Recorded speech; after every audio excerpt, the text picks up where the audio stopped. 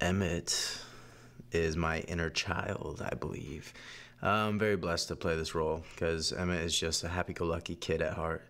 He's very blessed and fortunate to to be alive as a vampiric form, and uh, with that, with his strength as a human and having that elevated to the tenth degree by becoming a vampire, he uh, he has no worries in life.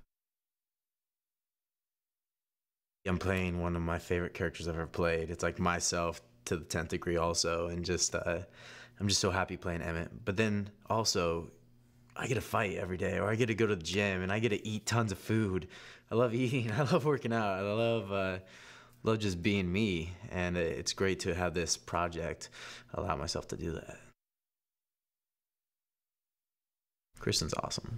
Um, she's she's I love to push buttons and she pushes them right back and she's very open and free-minded and it's great seeing that in such a talented actress who's who's not sucking to the media, who doesn't care what she, you know, if she's on the best dress list or um, she's just so free-spirited.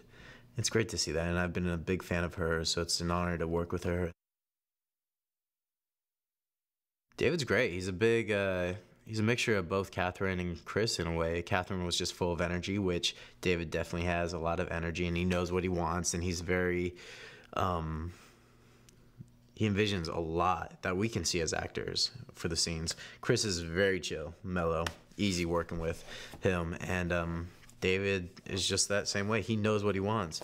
He has great experience um, with handling, you know, movies that are so. Uh, so different in a way. There's so much to grasp that you need to pull out of these movies. It's not just an action movie. It's not just a romantic movie. It's not just, you know, uh, a scary vampire flick. There's so many key points in this movie that he is picking up and watching, watching how he addresses actors and talks to DPs and just how he handles situations. Um, I don't know. He, he's a great director.